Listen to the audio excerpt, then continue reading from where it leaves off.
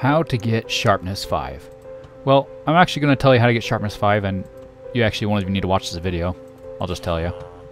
Well then I'll show you, but all you have to do is combine a sharpness 4 with a sharpness 4, you know, two tools, and it'll give you sharpness 5. There, you don't even have to watch the video. Uh, well, if you do want to watch the video, you can stay around and I'll show you what it looks like.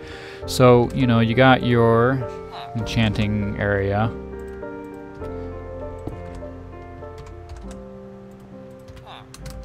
Do, do, do, do. Okay. And your anvil. I suppose you got your swords. Da, da, da, da, and we need lapis. Usule. So you know you're coming here and you're enchanting. And you're looking for sharpness. Ah. It's just that one didn't get it. What about this one? Oh my goodness. Looting 3 knock all that and one okay, that's really good. you know, suppose you're doing this until you get sharpness. That is one way, you know. Right now you can see I'm doing terrible. Okay, we got one sharpness 3. Let's keep that sharpness 3 there.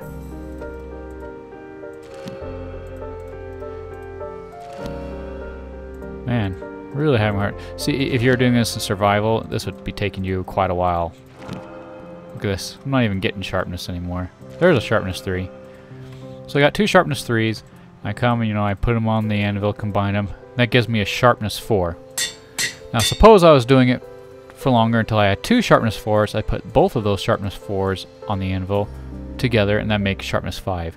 So I actually had to go through four swords just to get one sword of sharpness 5. But that's how you do it, and that's also how you combine enchantments.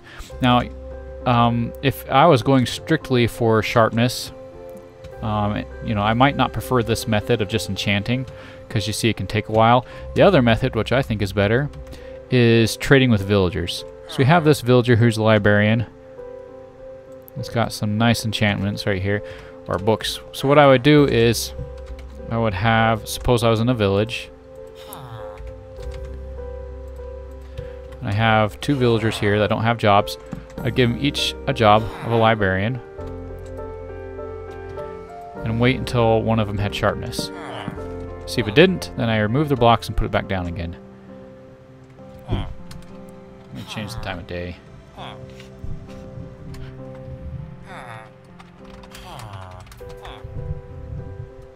Okay. 2000 is like the best time to trade the villagers or to get them to change professions. Riptide. No, I don't like either of those. Oop, try again. Fortune 2, that's pretty cool. Uh, and see, I would just keep doing this until one of them had the sharpness book. Oh my goodness, mending. Okay, and that's a good way to get mending too. Well, we're trying to get sharpness in this video. Curse of binding, who would ever buy that? Maybe if you're pranking your friends, I don't know. You could go steal his weapons and put Curse of Binding on him or whatever. Curse of Vanishing. Sweeping Edge. Infinity. Yeah, see, some of them are pretty good. Mending, of course, is the best. Luckily, you can do this really quick in survival. Just pick up and put down. Curse of Vanishing again, huh? Oops. Luck of the Sea 3, that's pretty cool. Protection. Looting 3, oh my goodness. See, I would actually have kept that one if I were in my survival world. Looting 3, that's pretty good.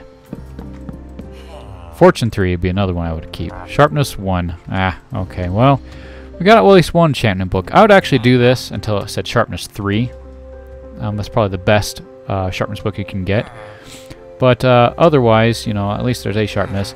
And if you're doing this, I'd say keep doing it until you get the sharpness that you want.